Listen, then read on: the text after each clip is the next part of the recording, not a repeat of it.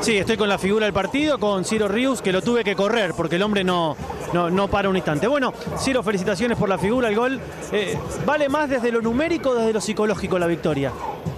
No, desde lo numérico. Eh, la verdad que es complicada la lucha ahí abajo. Eh, no veníamos ligando aparte y estos tres puntos los necesitábamos mucho para, para sumar en el promedio. Sobre todo para devolverle eh, o ratificarle la confianza al entrenador después de la declaración que había dado. Sí, sí, tal cual. Creo que se venía haciendo un campeonato bueno, eh, con muchos empates, sí.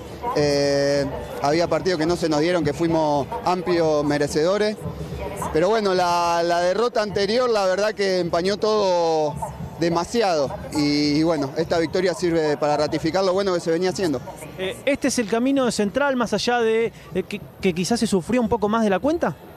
Sí, obviamente. eh, tendríamos que, que por ahí cerrarlo antes porque fuimos de- en ventaja de dos goles en dos pasajes y se nos ponen a uno, eh, por ahí distracciones nuestras, pero, pero sí, eh, hoy se hizo un partido redondo, creo yo, con muchos goles y bueno, entraron todas las que no entraban en otros partidos. Bueno, eh, eso te iba a preguntar. Ustedes hasta aquí habían traído 10 goles y marcaron la mitad, marcaron 5 en un encuentro. Se cobraron todas las de Racing, las de Vélez, las de Patronato.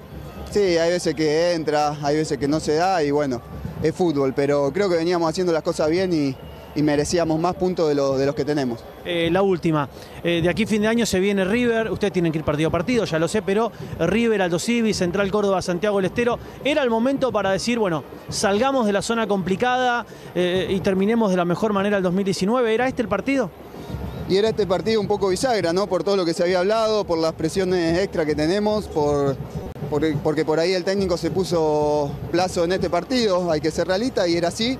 Eh, y bueno, fue un poco un partido bisagra, eh, porque bueno, esto nos da un aire importante. ¿A ustedes los sorprendió esa declaración de Coca por lo que vos venías contando, que quizás el último partido o el único partido eh, malo había sido con estudiantes? ¿Lo- ¿Los agarró por sorpresa? Personalmente a mí sí, creo que la mayoría. Pero bueno, hoy sirvió para ratificar que estamos bien, que creemos en la idea y bueno, esperemos seguir así. La última, ¿cuánto valen estos días de paz que, que- que han ganado? No, mucho, mucho. La verdad que, como te dije recién, feliz por el resultado y, y espero poder disfrutarlo estos días. Gracias, felicitaciones.